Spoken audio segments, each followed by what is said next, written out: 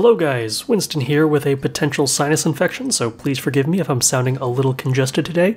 Part of the reason I was so excited to move across the country was for a fresh start with regards to my shop. In the four years I spent living in that Toms River townhouse I knew as the Machine Shop of Horrors 2.0, I'd built up a lot of infrastructure and habits I just wasn't proud of. For example, at one point I set up a folding plastic table as a drying station for batched projects, and that became a permanent fixture of the garage. It kept accumulating stuff faster than I could put things away. And then my lack of garage tool organization, save for a single crappy tool chest that barely rolled, meant that I kept most of my tools indoors and would have to go inside to get whatever I needed, or they just permanently resided on my workbench. These caused tiny slowdowns every time I needed to get a tool or figure out where I'd put it down last. My Shapeoko 3 enclosure was my first real non-workbench 2x4 project, and there were little things about it that bugged me. The fact that it was just a tiny bit too low for me to lean into without smacking my head on that top crossbeam was a minor but recurring frustration. My USB cables were routed in a way that barely reached my laptop, I wanted brighter lights inside, there were just a ton of little things I would have changed about it in hindsight. And because I had no intention of staying in South Jersey, I put no effort into improving my situation. That's why it was essential that I got a fresh start. So as soon as I got to California, I started planning. My first order of business was establishing an organization system. I'm sharing this nominally two car garage with my aunt for probably a good chunk of 2019, which means I'll have one less wall to work with than before, so putting things on wheels was super important to me. To address my tool storage issue, I decided to build myself a clamp and tool rack since it would make life a lot easier for subsequent projects. All of my tools, save for a few up to this point, were still in boxes, so giving them a home and making them accessible was a high priority. I did some window shopping on the internet to get some ideas and ended up going with wall control. This meant my cart needed to be 32 or 48 inches wide. 48 was a bit much, so I ended up at 32. This cart basically designed itself after I laid down some constraints. Now, 2x4 construction is something I really hate because you can't trust any of the faces of your building materials to be square so you basically can't make any assumptions about adjacent members.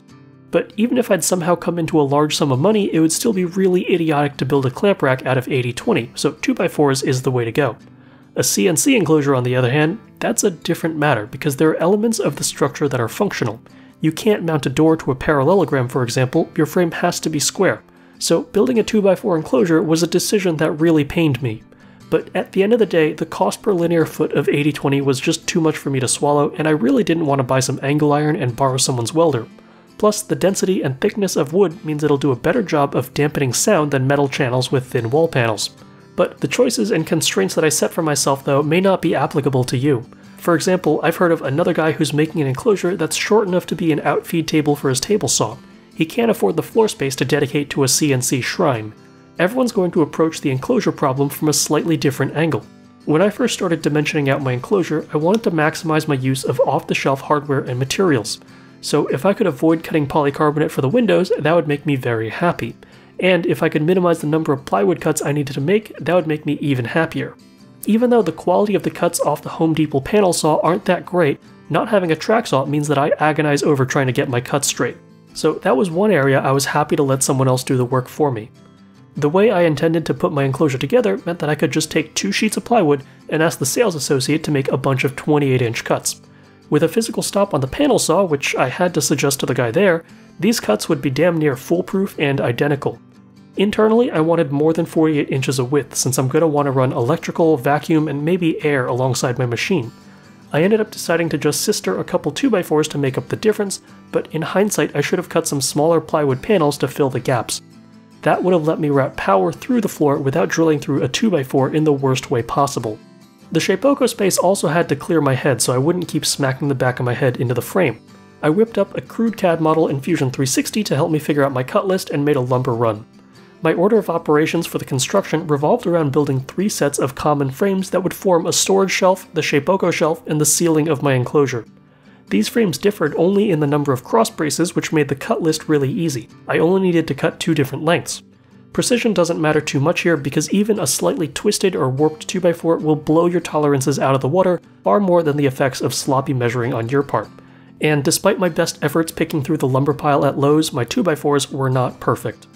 Next, I attached the legs. In case you're wondering, I am pre-drilling all my holes because my 12 volt impact driver doesn't have the oomph to sink a 2.5 inch screw in one go.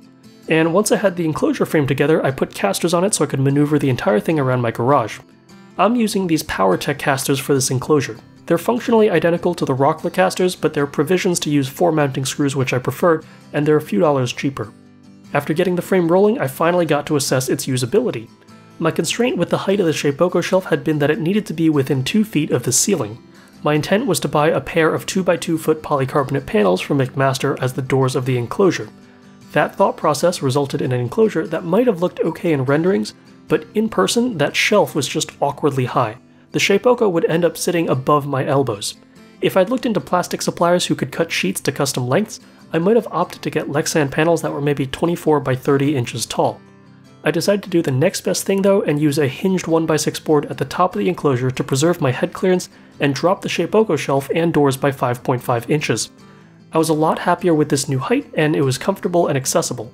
If you're making a double XL enclosure though, you might want to make the floor even lower so that you can lean into the enclosure to access parts that are deeper in the CNC. The next step was to put in a few final bits of bracing and prepare for paint. The inside was going to be white because optimizing for lighting was something I'd intended to do from the start. The outside I had mixed feelings about, but I settled for a medium gray. It's super neutral, so it'll be a good backdrop for stickers, plus it sort of has a Tormach MX look, which I think is pretty handsome, and it'll pair well with splashes of Carbide 3D green. Some people said I should stain my enclosure and preserve the wood look, but in my mind there are no redeeming features of cheap lumber worth highlighting. I belt sanded most of the surfaces to 120 grit, primed the enclosure, and chased everything with a 220 grit random orbit sanding. To do this right, I would need multiple coats to really hide all the evidence of the wood grain, but as long as I ended up with a uniform color, I would be satisfied. There are too many gaps in this enclosure for it to actually transcend its frugal origins. Painting this enclosure was really just putting lipstick on a pig. Once the tedium of painting was over, I could get to work on the hinged bits. First order of business was to install my overhead clearance door. I used a piano hinge here from Home Depot because it's really not supporting a lot of weight. Then it was time for the polycarbonate doors, and upon test fitting them, I discovered that the panels weren't perfectly square. If you rotated them, the corners wouldn't always line up, so I did the best I could to square them up. Home builders will know all too well that the reason you use trim is because you can't be perfect about the construction of everything. Using materials to hide the crimes and shortcomings of other components is really the name of the game. I assumed that plastic, being a man-made material, would be perfect right off the shelf, but it wasn't, and that assumption cost me a good chunk of time. If I had opted to place that plastic panel within a wooden frame, it probably wouldn't have been as big a deal. Per McMaster's recommendations, I would be using number 6 screws to attach my polycarbonate panels to piano hinges that I also got at McMaster. I specced out heavier duty hinges here because I wanted them to last. Cheap hinges will bend and deform just from installation, and with abuse and overextension, over time those ends will get dog-eared or loose, so I decided to spend a little more for the doors that I would be using the most frequently. I drilled my holes in the polycarbonate as a loose fit for 632 hardware and used flange nuts to secure the panels from behind. I installed the doors as best I could. I taped some cardstock under the doors to ensure they would open and close freely, but when I was drilling my holes for the hinges, I was seriously regretting not investing in a self-centering drill bit. If you need to drill mounting holes for countersunk hardware, get the right tools for the job. Eyeballing center just doesn't work, not to mention you risk the drill bit wandering. After this, I played around with adding a little more bracing behind and on top of the enclosure to change the resonant frequency of those panels. After a lot of fine tuning and indecisive planning, I moved my Shapeoko into the enclosure, and that's when I discovered I had goofed big time.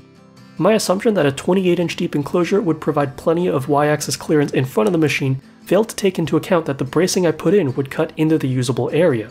I should have stuck a Shapeoko model into my Fusion assembly to verify my clearances, but I didn't, and I was feeling pretty dumb right about now. In thinking over my options, I could have attached some 2x4s to the front of my enclosure and extended the front out a couple inches, but in all honesty, I was pretty tired of this project by this point and I just wanted to get to machining something. If in the future I have a project that extends off the front of the machine, I'll make the necessary changes to the enclosure, but for now I'll stick to cutting in the area directly above the wasteboard. Alright, enough with the build, let's just go over some features. This hinged vacuum arm I jury-rigged works pretty good, but it could benefit from an even more flexible vacuum hose. I'm using this Bosch hose off Amazon, although it's far superior to any of the rigid hoses at Home Depot, it could still stand to be made from a softer material. A different vendor or even a smaller diameter hose might work better here. I had an idea to mount a monitor inside the enclosure, but it turned out to make things too crowded. The vacuum hose and the Shapeoko carriages got in the way.